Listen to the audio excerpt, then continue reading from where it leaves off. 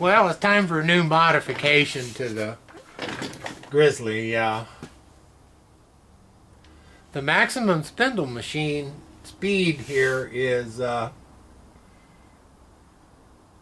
almost 2100 mi- uh, RPM. Yeah, miles per hour. Great. Um, great for doing milling and what have you, but really lax when it comes to doing any kind of engraving and bands. That's what my my pretty much my life has turned into just playing with this. Is either making parts for it or or making uh, uh, medallions and stuff. So I went ahead and I bought a uh, high-speed spindle motor, a mount, the control unit for it. Uh, and I've got the other two things I'm going to need to put it on there. That's baling wire and duct tape. My plan is I'm just going to duct tape it to the spindle and then wrap it good with baling wire so it'll stay on and, and make it a pretty good project. Well, maybe not. So we'll get rid of these two things.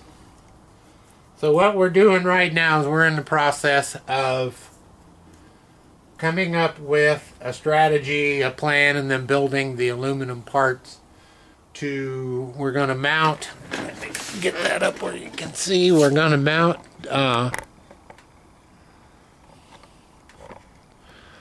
off of the quill and the spindle.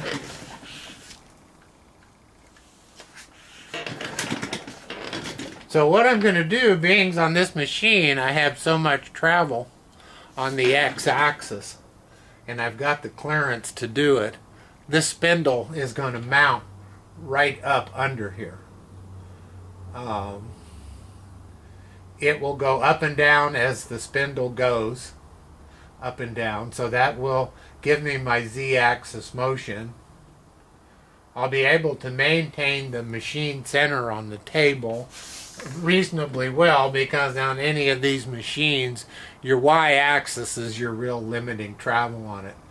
But what I'm going to do is I'll take this R8 adapter out and then I will put an R8 collet in there and I will make a stub shaft that the aluminum bracket that's going to mount out sideways from that um,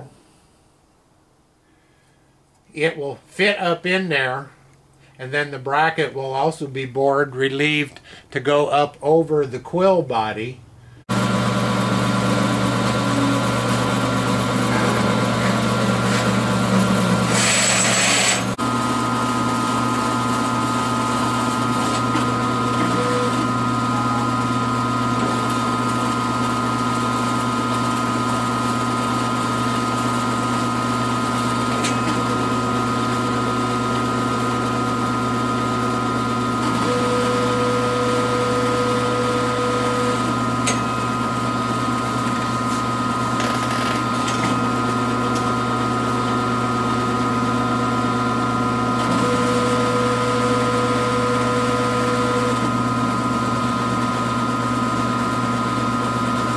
Well, part number one is reasonably ready to go. I got to get the stud for it yet.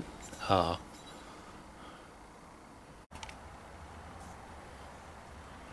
so this is the plan.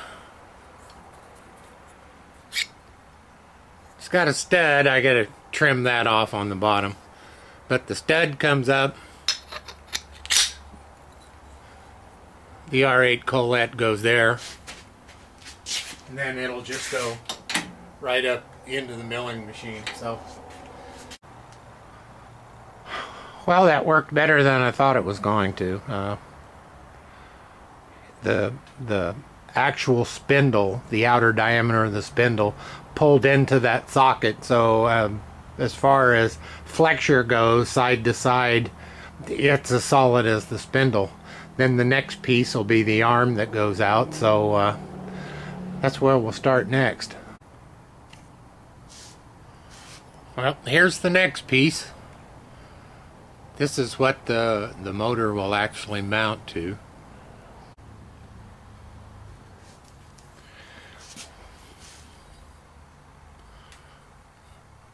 Well, we're coming along. Uh, this a little overkill. I had 5 16 stainless flatheads, Allen flatheads, and uh, I was going to go buy more bolts, and I went, what the hell? And the fact is, is there's only, on the clamp side, there's only two holes.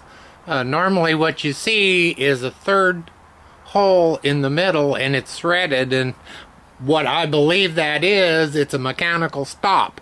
So when you tighten the two bolts that hold the base to the whatever you're clamping it to, that's a mechanical stop so you don't uh, over squeeze the motor. So I tapped those clear through, but I think I'm going to go ahead and put a, a 1224 Allen in between those two bolt holes. That's going to be more than enough.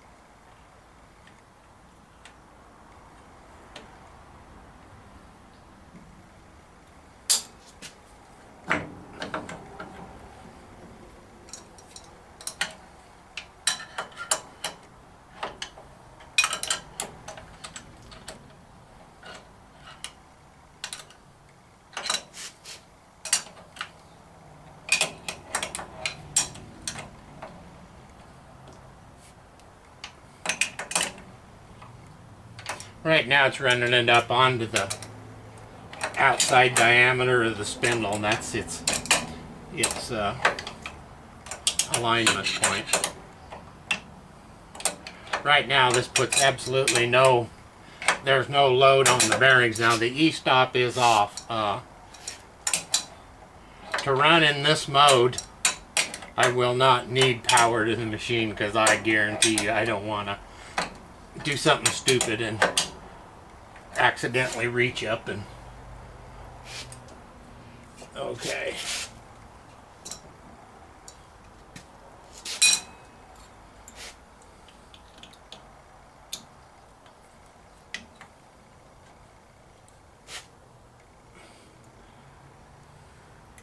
The z-axis is at the top of its stroke right now so. It's ready to take for a test run.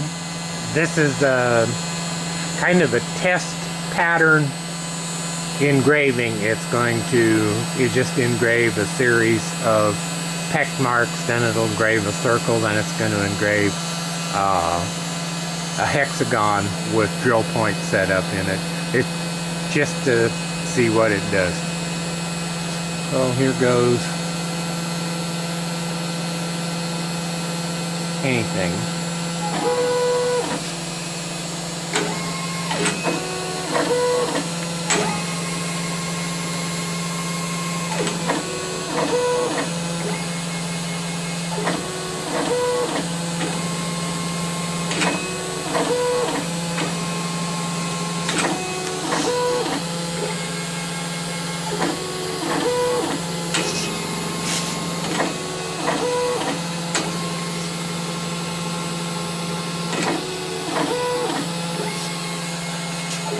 Quite healthy in that. It's just going down 0.025.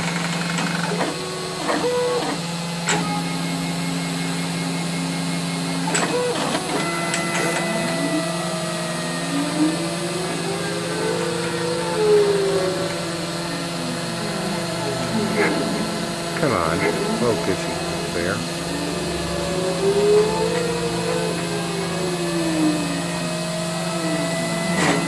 I have already decided that this high-speed spindle is not staying on this machine. uh, when I get done running this little test. I'm going to take that little combination machine, Chinese uh, mill drill lathe, and about the only thing I'm going to keep on it is the bed and uh, the y-axis table. I'll build a new Z. Well, it's fun day today. Uh, holding that on, is actually staying right where I put it. So this this is going to be fun. Uh, and it sucks it down so flat that I'm not having any ripples in the metal.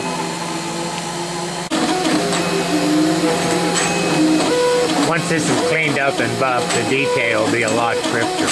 The top gear in the top hat is, uh, when I lean right over and look at it, it's got pretty good detail on it. A lot of this uh, characters that it's engraving are very, very small, but it's just doing a, a wonderful job. I'm just tickled with that vacuum clamp.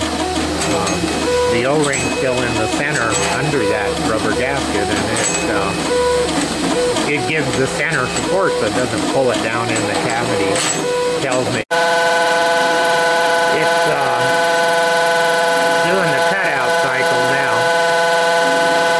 It's gonna run along. It's about ready. I did the cutout with the tab. I did one without using tabs, and I was using an eighth-inch end mill. And when two-thirds of it was, well, excuse me, two-thirds of it was cut loose, the end mill flute caught the piece and bent it up pretty bad. So since then I used the tabs, but uh, I think this one's going to be a beauty. Okay, power light is out on the machine.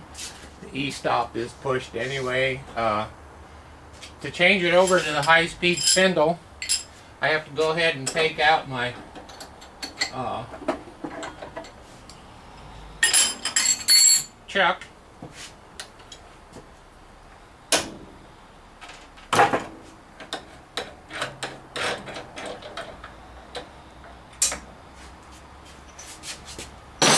Have to get my uh, 9 16 R8 collet, just a regular collet, and my arbor.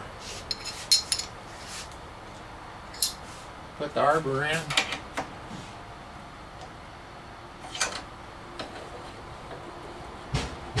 I run the nut up. I use the, the nut for a just to stop. I know I've got enough of it in the collet to use my back. These collets are long-winded. Okay, I have to try to get a little bit of snug on that.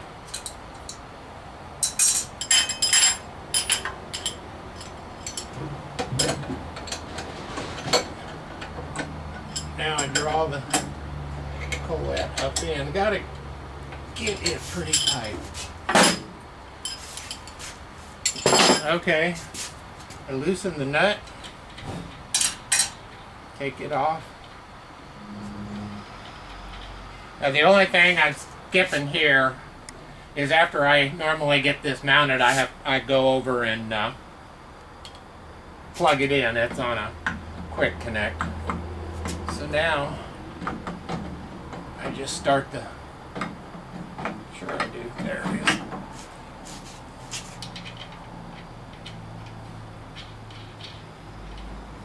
Run the nut on the bottom. Then I just position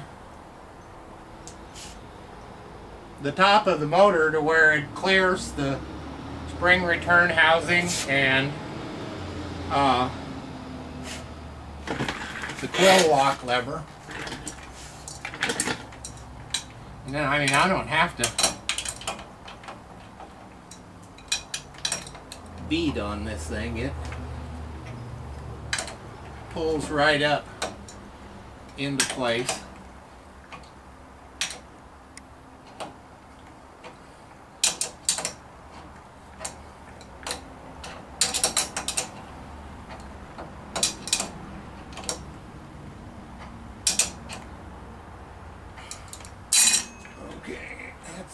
That's there. Large Allen wrench.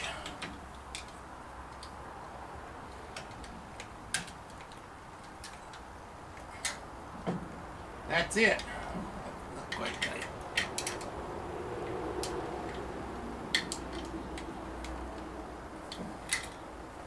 It is ready to rock and roll. Runs pretty quiet. I don't I need to.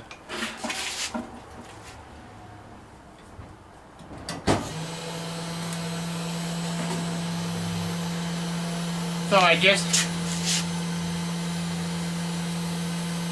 do what I need to do. Just throw a piece of metal on the vacuum clamp and and uh, I just did the engraving with it. Uh, was really surprised.